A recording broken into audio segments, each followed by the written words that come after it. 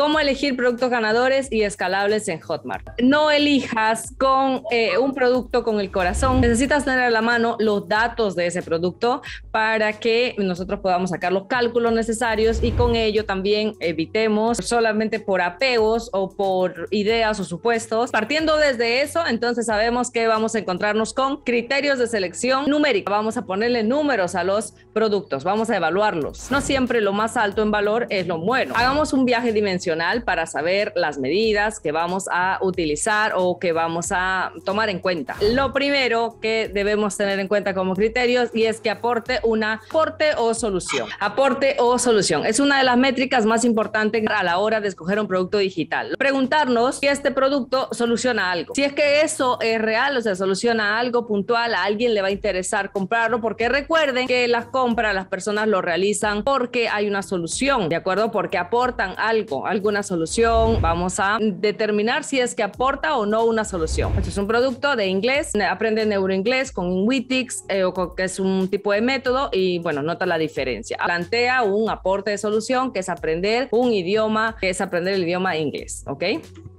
Muy bien, entonces ahora es tu turno y tú el producto que tengas en mente o que hayas estado ya evaluando, puedas colocar el nombre aquí y colocar la solución. Tómate este, este tiempo para que puedas definir si es que aporta una solución. Eso es fundamental. Con que este aporte una solución para un grupo de personas que paga por información y ya lo tenemos. Vamos a tener estos tres criterios de, en la visión rápida que tenemos del producto. Muy importante identificar una buena evaluación o satisfacción que produce el producto, pero siempre y cuando esto se haya evaluado por un grupo mayor, por ejemplo, a 10 personas. Y obviamente eso ese dato tú lo puedes variar, porque también puedes permitir que sea por grupo de 5, de 20, de 30 personas y un poco evaluar. Entonces vamos a ver qué bueno, qué no, en qué rangos, ¿ok?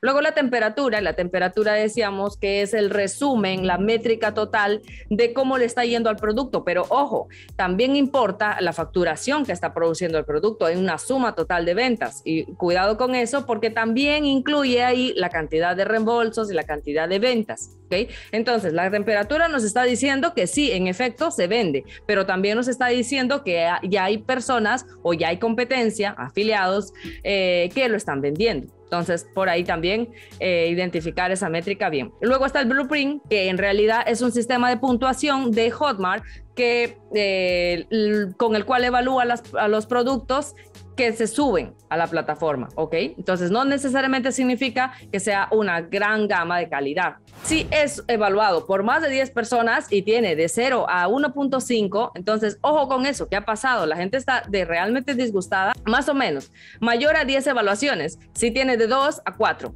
¿No? Si tiene una evaluación de 2 a 4, bueno, o a incluso 3.5, eso está bien, ¿no? Está como que ahí el lado intermedio. Digamos que pueden haberse tratado de un grupo de personas o unas cuantas personas que lo hayan evaluado mal por algún tema muy puntual, o puede haberse tratado pues de por si llegó a 4, algunas personas que lo están evaluando bien, ¿no? Eh, o se va alternando el promedio entre algunas que le evalúan 5 y otras que le evalúan 3, por ejemplo. Cuando ha pasado de 10 evaluaciones y pasa de 4 a 5 eh, estrellitas, ¿ok? De 4, 4.5 o ya ahora que está apareciendo con fracción, ¿no? Eh, hasta 5, pucha, está brutal. Brutal porque porque significa que más de 10 personas lo han evaluado y realmente están satisfechas con lo que ofrece, con el contenido, muy probablemente con la calidad. Segundo, temperatura. Debemos saber que cuando este tiene más temperatura, por ejemplo, mayor a 50 grados, hay competencia, no solamente en número de afiliados, sino también en un avance, que ya tienen un camino recorrido, la experiencia con las ventas relacionadas a este producto, hay que saber que hay competencia entre 30 y 50. Estos datos lo ponen ustedes. Podrían ustedes decir, no, yo lo voy hasta 80 o voy hasta 30. ¿Sí? Entonces ustedes lo ponen estos datos. Acá solamente son referenciales. Entre 30 y 50 para nosotros es más o menos porque se trata de lo mismo. Hay como que un inicio ya de muchas algunas personas intentando venderlo y lográndolo, por lo cual ha subido de temperatura y pues recién está empezando, ¿no? El despegue de esas ventas. Y cuando eh, está menos de 30, en particular, a mí me parece brutal porque a mí en particular me encanta la idea de poder llevar un producto de baja temperatura a la cima, ¿sí? A los más altos grados de temperatura que pueda. Pero para eso necesito tener una brecha al principio, porque es verdad que cuando empezamos todos, todos, todos, todos, estamos en iguales condiciones. Si vamos a utilizar la estrategia de venta en automático, Facebook para nosotros está en igual condiciones, ¿sí? Entonces, por ende, tener esa brecha em, de baja temperatura del producto, o sea, poca competencia, ¿sí? Me permite también un poco de tiempo para que el pixel y todo el ejercicio que vayamos a ver más adelante en las próximas clases, pues eh, vaya, se vaya aprendiendo. Y el último que tenemos en esta lista es el blueprint. Si está del 0 al 50%, está mm, débil algo. Eh, del 50 al 70% está más o menos. Y del 50 al 100% está brutal. Precio y comisión. En este caso, eh, su precio, igual el mismo producto que estábamos hablando arriba, pues tiene 39.90, su precio máximo y su comisión es de 28.40. Sacando en cuentas es el 80%. Cumple la regla que decíamos de precio y comisión. ¿Cómo debemos calcular? Debemos colocar aquí el precio del producto por el 9.9% más 2 dólares por venta que se cobra Hotmart, ¿ok? Todo este circulito es el costo que tiene pues el alojamiento y la estancia del producto en Hotmart por cada venta, ¿ok? Y a todo esto, restando, bueno, sacando todo esto, le tenemos que multiplicar nuestra comisión. Pero ojo, nuestro porcentaje de comisión. Calcular con el ejemplo del producto 39.9 dólares por los 9.9% más 2 dólares. Teniendo esto así sumamente fácil y claro, no va a haber pierde, ¿ok?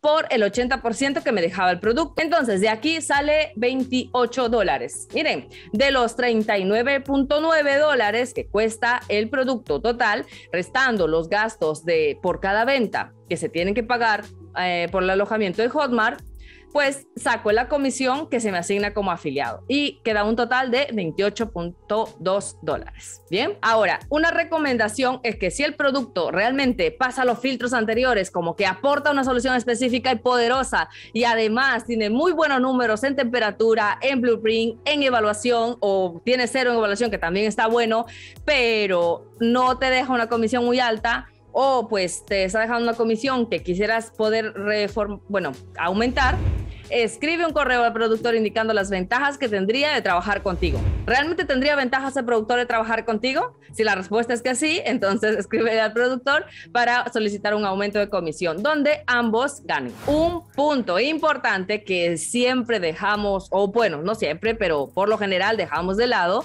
es el cupón de descuento. Y debemos identificar, si es verdad, cuál es el precio máximo, pero también debemos ponernos en la situación de cuál es el precio mínimo, ¿de acuerdo? O sea, cuál es el precio ya con todos los cupones de descuento que tenga. Algunos tienen un cupón de descuento y hay productos que llegan incluso a tener dos cupones de descuento, ¿de acuerdo? Entonces, esto es importante porque nosotros estamos direccionándonos hacia tener ventas masivas, hacia, hacia tener ventas en escalamiento y eso requiere que estemos en el precio mínimo. ¿Sí? Entonces, por ende, yo siempre recomiendo que el precio esté un estimado entre 20 eh, dólares y 100 dólares, ¿sí? No recomiendo menos porque si ese precio menor a ese y encima de ello por ahí tenga un cupón, entonces realmente nuestro margen de ganancia y por ende también nuestro margen en Facebook va a ser muy pequeñito, ¿de acuerdo? Es importante que identifiquemos qué cupones tiene y que quedemos eso claro desde el principio, ¿de acuerdo? Para que después no hayan problemas. Como en este ejemplo inicial, el producto tiene un precio original de 49.90 perdón, 49 dólares. Y luego también vemos acá que tiene otra opción de precio de 39 dólares. Entonces debemos colocarnos en todas las posibilidades, ¿de acuerdo? Y al hacerse visible también se hace visible para muchos más afiliados. Y por tanto, la competencia se incrementa y por tanto también van a dirigirse hacia los precios mínimos. Ahí está. Y para todos los que este, quieran más información relacionada a estos criterios, pues puedan seguirme en Instagram, estoy como Yesenia Gallardo 1 y también en el canal de Telegram.